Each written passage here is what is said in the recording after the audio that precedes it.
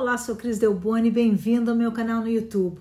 2020 foi um dos anos mais difíceis né, para a humanidade. Um ano complexo, onde só pudemos contar realmente com a fé e esperança. E agora, no Dia de Ação de Graças, a gente acrescenta uma enorme gratidão pelo que temos e pelo que realmente importa: saúde, amor, família e muita paz. Queria então, portanto, deixar hoje aqui a minha gratidão pela vida, com a leitura de uma das orações mais lindas que eu conheço, que é a oração da paz ou oração de São Francisco, como é conhecida. Senhor, fazei de mim um instrumento de vossa paz. Onde houver ódio, que eu leve o amor. Onde houver ofensa, que eu leve o perdão. Onde houver discórdia, que eu leve a união. Onde houver dúvida, que eu leve a fé.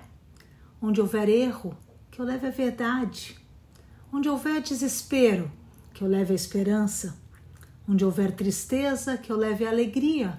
E onde houver trevas, que eu leve a luz.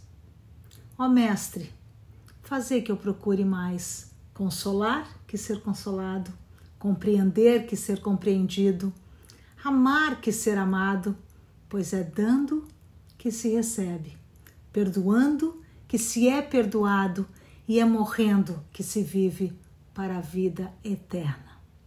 Amém. Feliz Thanksgiving a todos e semana que vem a gente volta com o décimo segundo e último passo na descoberta e construção do seu código da felicidade. Até lá!